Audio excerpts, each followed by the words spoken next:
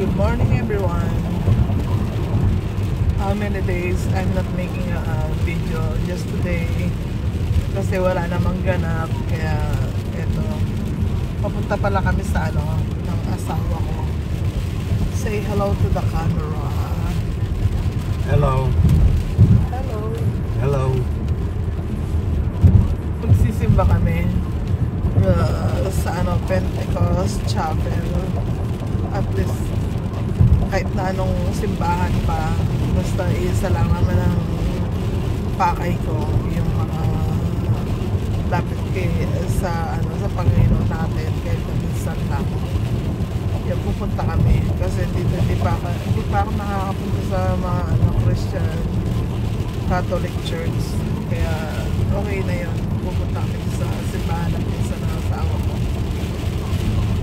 yun nga mga friends hindi, ah, hindi ako masyadong ano hindi ako masyadong nag uh, video ngayon kasi wala naman nga ganap at saka isa lang yung maisi-share ko. Kahit pala anong tagal nyo nang magkarelasyon ng ano ng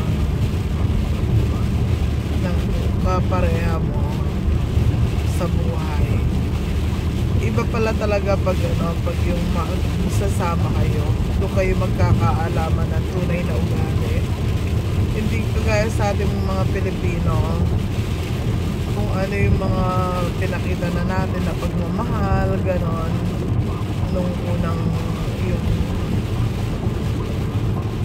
pakikipag ano nga natin dumaan yung panahon na ano na matagal na nakipagrelasyon ka sa long distance relation gano'n tayo pinakikita natin kagad yung pagmamahal natin at saka ano uh, ugali. Halos wala na tayong tinatago. Minsan nga may ginagawa pa tayong hindi natin ginagawa para maano lang para mabighani yung ano minamahal mo.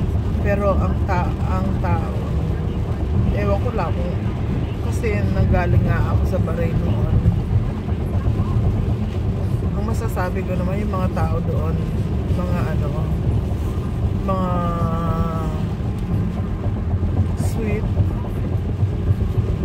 ma mapagmahal kahit na ipagpalagay mong apat ang asawa nila ang ang isang asa ang ano busog sa pagmamahal ganon wala kang wala kang maano wala kang ma kahit lang ay, yung ano may ang dami pang snow there is still snow here It'll melt by tomorrow. yeah it's melt but it's still there so mayroon pa rin snow dito. Tapos yun hindi kagaya ng mga taga rito. Dahil sabi nga nila practical daw yung mga iba iba kakaiba kakaibang pag uh, ano pakikibaka pag dito ka nag ano. Marami kang babaguhin marami kang minsan hindi mo maano hindi mo halos maubos isipin sa sarili mo na ganyan pala ganun. Kaya hindi ako masyadong nagbibideo kasi baka kung ano-ano lang yung masabi ko basta eto ako patuloy pa rin nakikibaka dito. Although kahit na walang masyadong ganap kaya hindi na ako nag, ano, nagbibideo sa awa ng Diyos alam ko magiging malakas ako tsaka ano kahit na ano pa yung maging buhay ko dito bahala na siya lang ang inaasahan kong gagabay sa akin kahit sa anak ko diba? at saka naniniwala ako doon. Hindi pa ako pinabayaan ng Diyos. Kahit na ganito lang ako marami akong ano pagpapalang naranasan sa buhay ko. Kaya malakas ang loob ko. Kahit na ganyan ang buhay dito.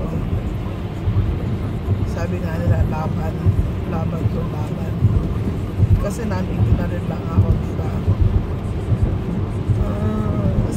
ngayon, eto, umuulan. Ipapa, ipapakita ko sa inyo yung daan. Umuulan. Uh, linggo. Day off ng asawa ko. Kaya, niyaya ko siya magpunta dun sa simbahan. Ang ginaw ng daan at saka yung ulan naghahalo. Kaya parang ang ano, usok madilim sa daan. Malamig malamig po kasi yung ibang snow hindi pa natutunaw. Nag-snow nung nakaraan no, yung mga gilid-gilid ng ano may mga puti-puti pa snow yon kaya nga nilagnat ako kasi ang lamig-lamig. Grabe. Sumakit yung leg ko. Tapos pero kahit na ano nilalagnat ako kinakalamay ko yung ko. Sa bagay inaasikaso naman ako ng asawa ko. Kaso oh, syempre iba yung pag-aasikaso ng ng Pilipino. Sa bagay kahit na nasa Pilipinas ako aasikasuhin ko rin naman ang sarili ko. Pero yung ano iba iba talaga. Mapipil mo yung pagmamahal ng Pinoy sa ano pamilya mo pag nasa ibang lugar ka kailangan ano yun yung sarili mo kalamahin mo yung loob mo maging malakas ka. Lakas ng ulan no? Ang dilim-dilim. Kami ay bundok ko may ano pa may mga yelo pa siya doon no? Nag-yelo pa yung ano snow. Mm-hmm. there is snow is still there oh. Yeah, it'll take a while for that to melt, huh? yeah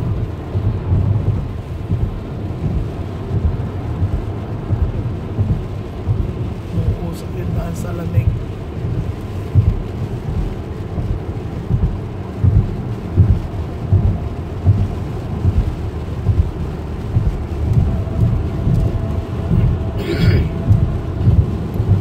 Makikita namin yung pinsan niya sa simbahan.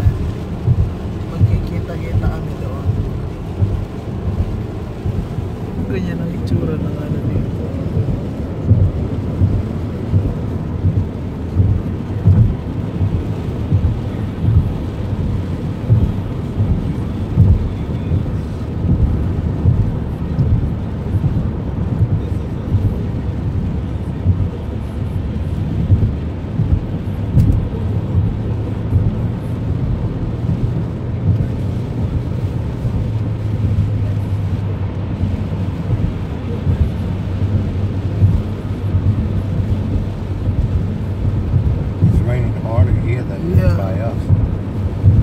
Here, more, ano, more heavy the rain Yeah. our side. The ano is smoking, no? The road.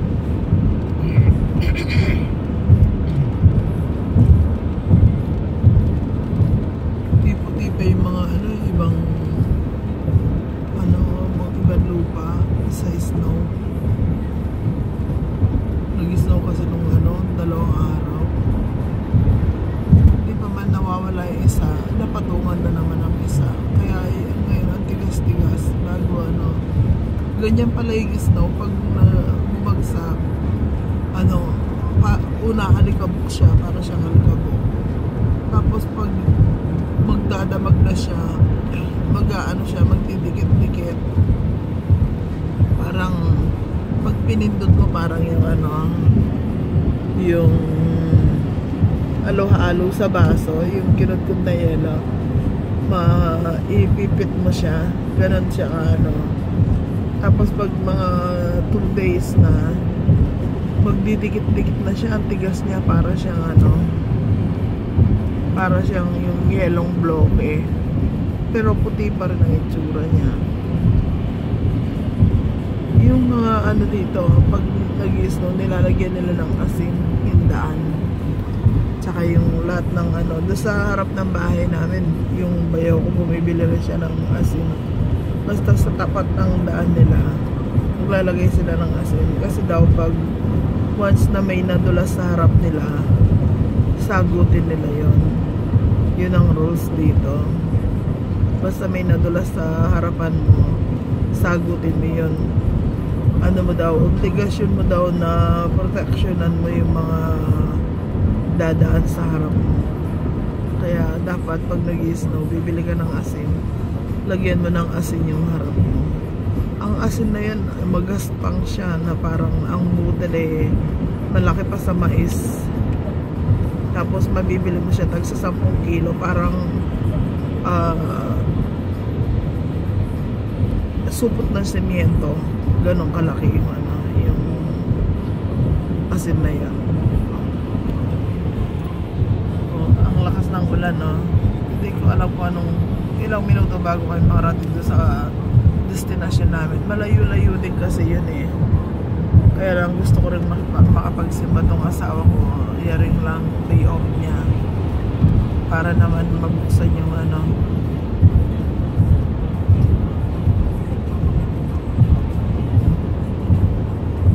Yung mga tao kasi dito parang meron na mga ano palasimba. Kagaya nga nung hipag ko pinsan, pinsan niya ano nga yun eh yung mga anak niya may katungkulan sa simbahan. Pero itong pamilya ng asawa ko palibasa wala silang reliyon. Yung tatay daw niya namatay ng ano born again. Yung mama niya yata baptist. Sila wala sila magkakapatid wala silang binyagan. Kaya yung ano yung parang mga ugali yung makikita mo palibasa hindi sila nabinyagan may ano sila yung kanya-kanyang ano ba yun? Pag-uugaling kakaiba. Kakapit ka na lang sa patalim. Wala akong magagawa. Sa kanila na ano, sila yung kapalaran ko. Kaya yun. Milagro na lang ang ano ang hinihingi ko para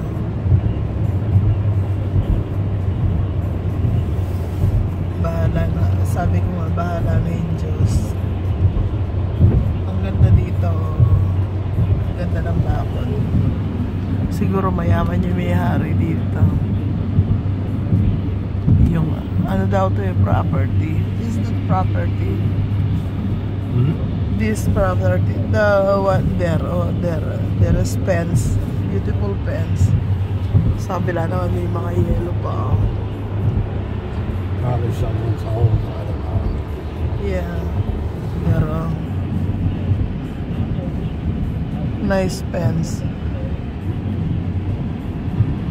karamihan kasi ng bakod dito yung mga kahoy lang pero yun konkreto ang dilim ng daan wala kang makikita. Kapakita ko na lang yung aking mukha. Hindi ako masyado naglagay ng ano eyeliner sa mata ko kasi pag magsisimba ka doon napapaiyak ka. Tutulog yung mukha ko. Kaya para hindi na lang magmukhang aswang hindi na ako mag-eyeliner. Nagkilay na lang ako ng konti. Tsaka ako nag-lipstick ng konti okay na yun kasi pag mag-makeup ka tapos yung pag yung ceremony na hindi mo maiwasang maiyak lalo na may dinadala ka sa dibdib mo. Lalabas at lalabas pag nagsisermon na sila. Ano? Ang sarap na pakiramdam pagkatapos mo umiyak. Kaya yun nga na sabi ko magsisimba ako ulit. Kasi minsan niyaya ako minsan niya yun. Nakauwi na na Pilipinas siya may asawa rin siyang Pilipino. Naggaling na rin kami isang beses doon tapos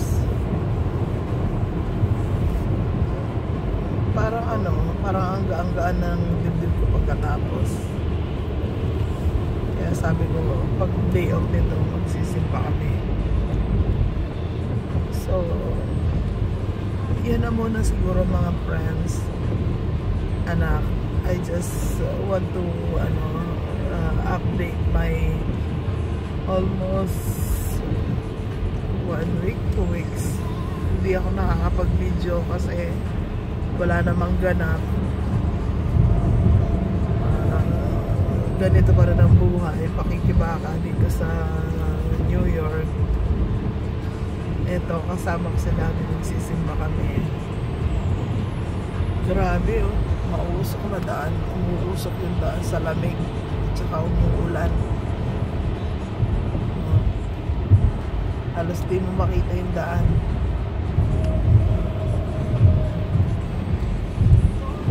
No, yun, yun na muna. Ah, maraming salamat sa mga nanonood.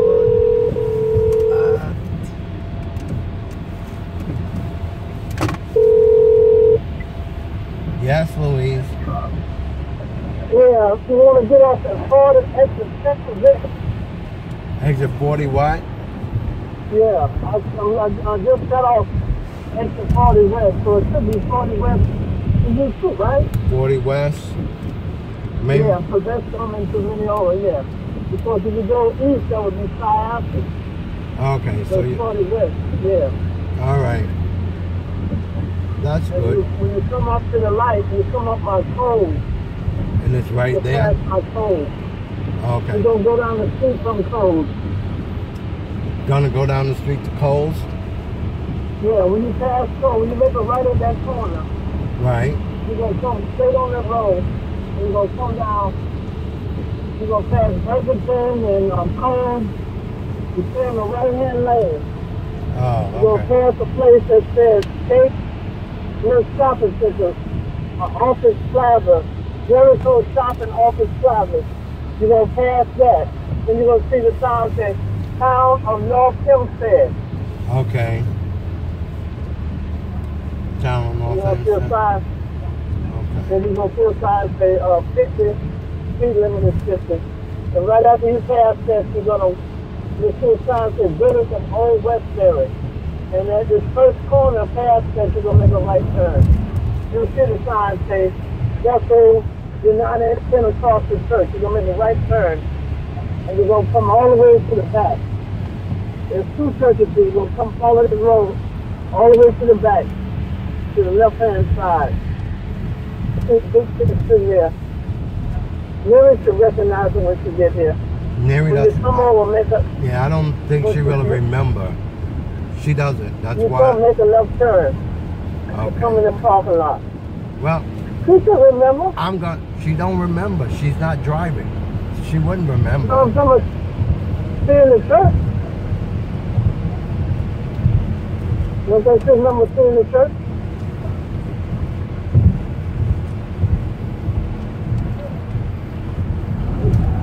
Okay. You remember seeing the church, huh? Yeah, if I see the church, I know. She said she see the church, but the road's going to the church. All right. Well, I'm coming up to exit 41 Oh. north, so I'm trying to concentrate, Louise. I don't know where I'm going. I'll call you when I get close. Exit 40. Yeah, well, 40. I'm here already Okay. at the church. 40 Oh. east and west. My sign says 40 east and west, so I guess it's west, like you said. Yeah. I. Exit 40 east and west, Westbury, exit 40W. Okay. Exit 40W is saying Westbury. Yep. Okay. I'm gonna sit here the parking lot for a few minutes. All right.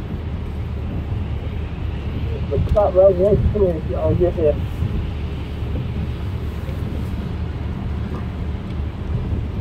here. Alright, then let's just hang up there. All right. Hindi kasi alam ng asawa ko yung lugar. Kaya yung pinsan niya nagbabackup kung saan kami pupunta. Eh ako hindi ko naman matatanda ko isimbahan tapos hindi naman iba kasi hindi ako nagda-drive kaya hindi ko alam kung pasikat dito. Tsaka siguro magte-take time kasi naman ako lumalabas ng araw. Minsan lumalabas ako yung bibilim na. Hindi ko rin natatandaan yung mga ano mga daan. Mga matagal siguro bago mag-memorize yung mga ano dito. Lugar. Puting-puti pa rin doon no? may mga snow pa rin.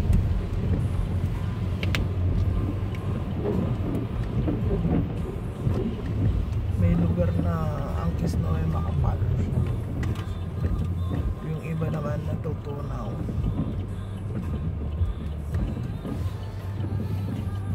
Ay, may ma may, share ko pala. Dati kasi gumagamit ako ng ano, dati. Ah, until now, gumagamit pa ako ng pants. Hmm, kasi palagi akong dahil palakain ako ng mani, nagtatagyawat ako. Nagkakaroon ako ng parang acne. Ang lalaki nila, gano'n. Ang sakit pag ano. Gumagamit ako ng yung pants na ano, yung anti-acne ba yun? Acne. Nawawala naman. Eh, nung umalis ako, ah, dahil nagmamadali kami namimili ng anak ko, ang kinukuha ko talaga, pants cream na yung pampahid sa pa, yung daily cream. Yung pala, foam pants, foaming, foam ba yun? Panghugas din ang mukha. Pero hindi ako nagsisisi kasi ang ganda pala niya sa You don't recognize any of this, right? Huh? Mas makinis, ha? You don't recognize any of this, do you? This way? Yeah. We are here already? We're on uh, we're up on exit 40.